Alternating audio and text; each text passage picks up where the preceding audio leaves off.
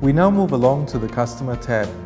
The Customer tab is for you to use when it comes to anything to do with the customer, such as recording a quotation, recording an invoice, receiving a payment from your customer, or sending your customer a statement. When you click on the person's name on the left, you can see his transactions appearing on the right. And it shows you the amount overdue and open balances as well. Let me show you how simple it is to record a new transaction. We go to New Invoice and you select your customer's name. Once you select the customer's name, the address will appear with the invoice details on the right. It even shows you the payment due date based on the payment terms. You then need to select the item you are selling for your customer. For example, I select the A4 notepad and a coffee mug. Once you select these items, it will show us the price, you can indicate the quantity, and it automatically selects the appropriate GST tax code. These are the tax codes we have available for you, which is required by IRAS. If you are not sure which tax code to select, you can click on this icon that says which, and this brings up the online help file of QuickBooks Online, which will explain to you what each of these tax codes should be used for. The online help file is available throughout the system. You can also add a discount over here if you wish.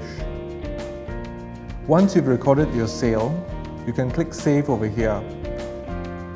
This is the preview of the invoice.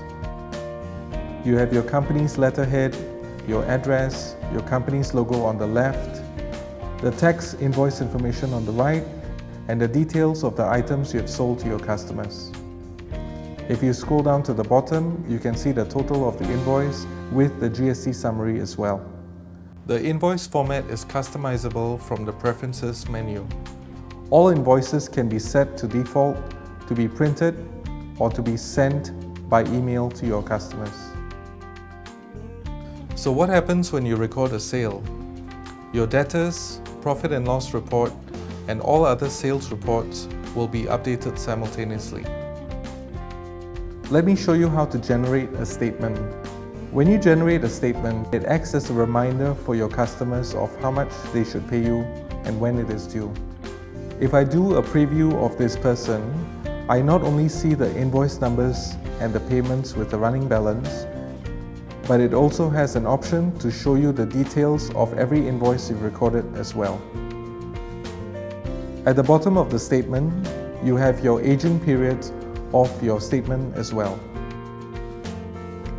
In the Customer tab, you can also record payments that you've received from your customers and you can also record credit notes.